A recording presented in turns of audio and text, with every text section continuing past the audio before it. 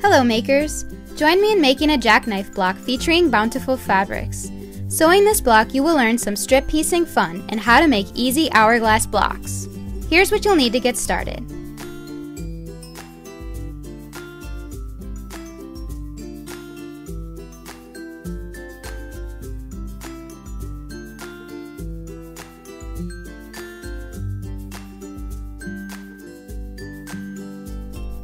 Sew your width of fabric strips together.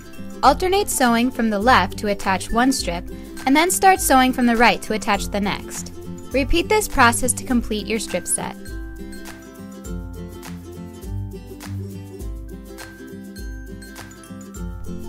Press seams in one direction.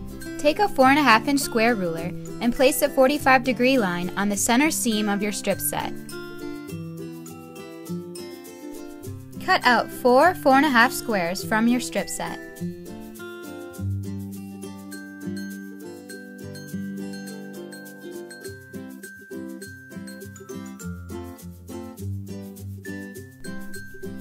To make a BD half square triangle and a CD half square triangle, take a 5.5 inch square from fabric B and D and place a 5.5 inch square from fabric D right sides together on both squares.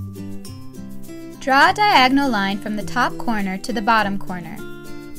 Sew at 1 4 inch on each side of the line. Cut on the line you drew to reveal two BD and two CD half square triangles.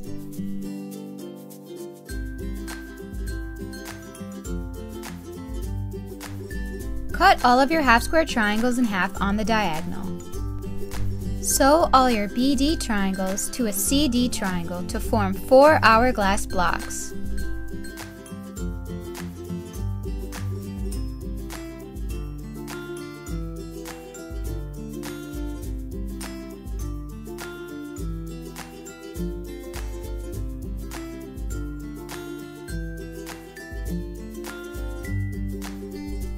Place all your pieces out as they should be sewn. Sew row 1 through 3 together, pressing seams in alternating directions.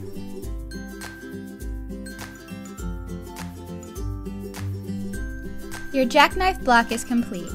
Feel free to share your quilt block creations on social media using the hashtag AGF Quilt Block Collection. Thanks for watching. For more fun sewing videos, subscribe to the AGF channel. Leave us a thumbs up if you enjoyed the video. To get notified when new AGF block tutorials are released, click on the bell underneath the video. Until next time, happy sewing!